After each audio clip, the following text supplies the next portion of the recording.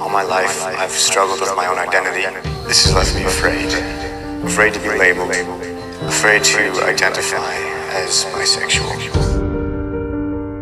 It makes me feel nervous. You have that look in your eye, or what takes over? What is it terrible that kid. holds You're always a you disappointment, and it's impossible to disappoint. and you can tear it up. Oh, no one tears it up like you. oh, seeing you can someone. rip It's it your father. up. Oh, no one rips it up like you. And you're not until we finish talking. No, no, I'm done. I'm It is not you I see. You But I am live a talking. half life. You only show half to me. Whenever, whenever he's around me, I, I, I feel I, I can't breathe. When I'm around now, I can't breathe. And I tell you that all the time, and you don't listen. Sometimes I join you.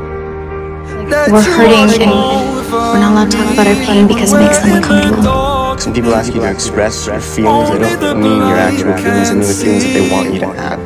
And you Sights can of my tear it ass, you can't even decide if you like boys or girls. Oh, no one tears it up like you. Oh, Don't worry, I'm you here. I'm can cool with the rip it bisexual.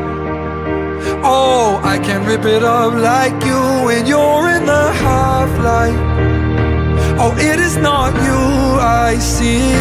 You live a half Can't stop. I don't know what to do. show half to Just accept that you made it through today. and I'm proud.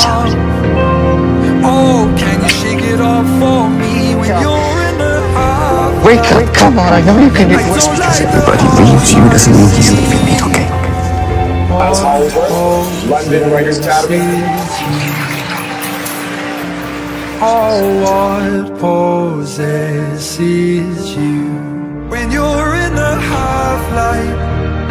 Oh, it is not you I see.